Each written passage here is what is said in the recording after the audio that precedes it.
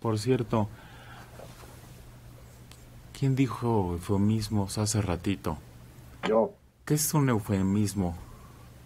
Es, digamos, que tratar de maquillar una realidad que es contundente con suavizarla. Es cuando le dicen mi empleada doméstica en lugar de la sirvienta. No, no, porque eso no es un eufemismo. No, es por ejemplo, eh, la Ciudad de México alcanzó, las lluvias en la Ciudad de México dejaron una inundación de tres metros y el gobierno dice, son encharcamientos, no es inundación. Ese es un eufemismo. Hasta dónde te llegue el agua califica el eufemismo, ¿no? Disfrazar la realidad. Disfraza Exacta, ese sería exactamente. Ah, bueno, es que miren, hay información que está surgiendo y unas dicen se detuvo, otras dicen se entregó.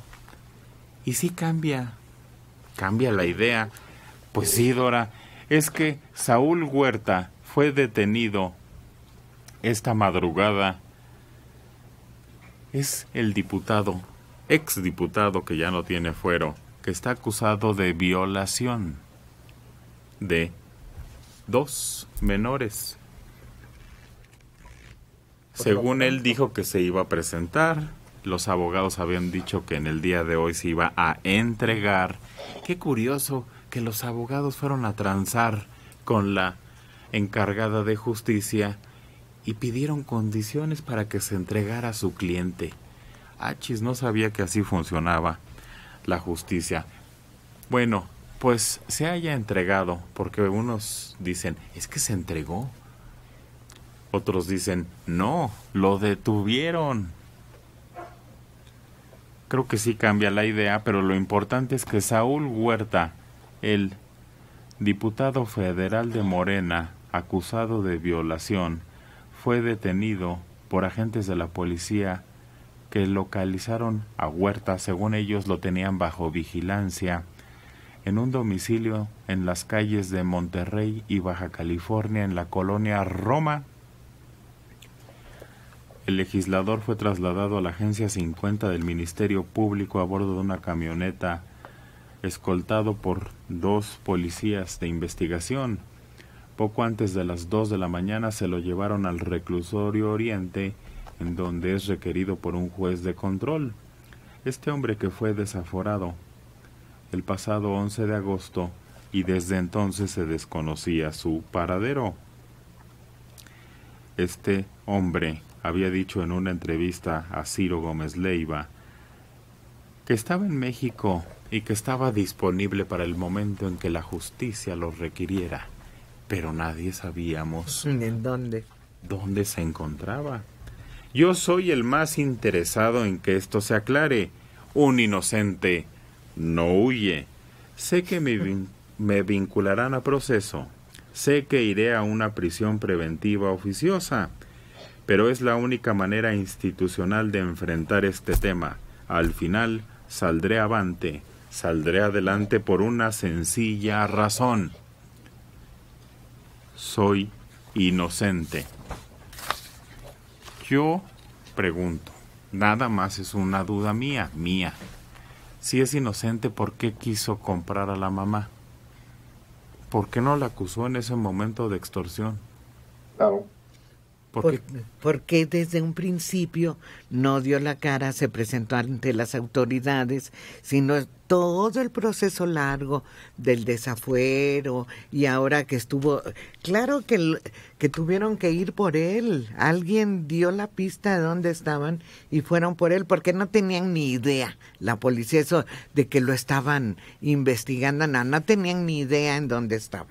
No, sí ya habían ido a investigarlo, habían ido a buscar a sus oficinas oficiales que están en Palenque, en la colonia Narvarte. Y ahí entraron, rompieron la puerta y tienen una denuncia que porque la puertita y los daños que causaron son por 50 mil pesos. Y que quieren que se las paguen porque entraron y rompieron la puerta para buscarlo y no lo encontraron. Pues está detenido. Si llevan orden de aprehensión, sí pueden entrar al domicilio con la orden. Dora. Sí, eh, le leyeron sus derechos, se ve toda la, la imagen, claro, tratan de cubrir un poco su rostro, fue detenido en el transcurso de la madrugada. Si tú te entregas, no te entregas en la madrugada. Precisamente para hacer el cacareo de que no tengo miedo, soy inocente, convocar a los medios lo estaban esperando o lo iban a esperar el día de hoy a esa entrega eh, inocente. Pero no, llegaron por él. Era de madrugada, eh, fue trasladado con 30 elementos, con bolsa y no sé qué tanto. Eh, pero no, no creo que pueda demostrar nada. Creo que la bienvenida que puede esperar en cualquier reclusorio va a ser importante. Es uno de los delitos más penados entre los mismos eh, delincuentes. Eso y el parricidio. No ha cambiado siguen siendo dos de las causas más fuertes para atacar a un interno. ¿Cuál será entonces la justicia que esperan? Está sonando tu micrófono, Dora. Está rozando con algo mucho. Con mi blusa, sí, perdón. Este, ¿Cuál será entonces la justicia? ¿Que lo metan al tambo muchos años o que le llegue una lana a la familia? Ambas, porque puede, no sé cómo se considere la reparación del daño, que evidentemente no es una cuestión material, pero si lo procesan y sale culpable, lo sentencian, pero también debe haber, siempre, indudablemente, hay una reparación de, del daño. ¿Y por qué tardaron tanto en hacer en quitarle el fuero, en ir por él? Porque bueno, ahí las máscaras de sus compañeros de bancada y que empezaron a decir que era una un complot para desprestigiarlos y todo eso. No, son los sátrapas todos ellos.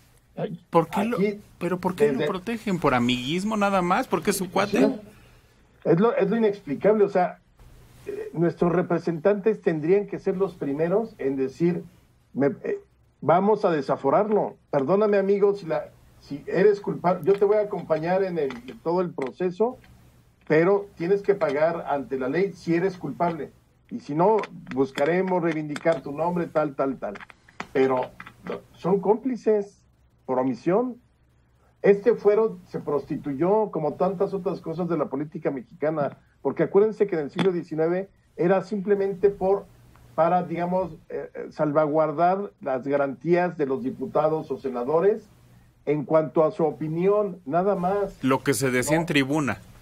Sí, o sea, que no pudieran reconvenirte ni el presidente ni nadie más ni que pudieran amenazarte por lo que dices en tribuna, no que pudiera tener un, pasaporte carta blanca, semáforo verde para hacer y deshacer lo que quisieras. Pues todo llama la atención, hasta que le tapen la cara, me llama la atención que ahora los criminales les ponen un cuadrito a los presuntos que para proteger su imagen, pues si los vemos en los medios a cada rato, pues detuvieron a este hombre. Ojalá que haya justicia. Vamos a ver cómo va. Tiene un equipo de abogados. Y la otra pobre mujer tiene un abogado que, pues... Que eh, se ha movido bien, ¿eh? El abogado de la señora. No, hombre. ni, dando declaraciones me convence ese hombre. Pero eh, creo que toda la mecánica de la denuncia la ha manejado bien. Si no, ya lo hubieran Mientras los otros se les ve hasta la cara como gangsteril y, los trajes a medida, el, el, otro, no, hombre, con todo respeto, claro, ¿no? Eh, Alejandro. Es más efectivo. Estás... Ah, pues sí. Ese es pues. el descrédito de nuestra justicia. Por eso la gente no cree en la justicia en México, porque todavía la justicia sigue favoreciendo no necesariamente al más rico, sino también al, poderoso. Y, aquí tendría que ser al la pobre víctima, sí, al que tiene influencias o que tiene amiguismo. Lo vimos con el proceso de desafuero que se llevó muchísimo tiempo. Esto estamos hablando de hace como tres meses comenzó este asunto o más. Y hasta ahorita apenas casi terminando la legislatura, casi casi ya lo habían aprendido el 2 de septiembre, o más bien el primero, que era, ellos terminan el 30. Pero el punto es que sigue siendo una justicia eh, discrecional, lenta, demasiado lenta para algo que es tan grave, por ejemplo, para el chavo. Ah, porque es algo que lo va, no fue que le robaron la cartera o el Rolex o los tenis. Es algo que lo marca definitivamente en su desarrollo personal, psicológico para siempre. Cállate, no era el único. Bueno, exactamente. Y el hecho de que no pueda él sentir que alguien está de su lado, salvo su, su mamá, por ejemplo, qué terrible. O sea, verdaderamente es una tragedia de la justicia mexicana hoy en día. Así es.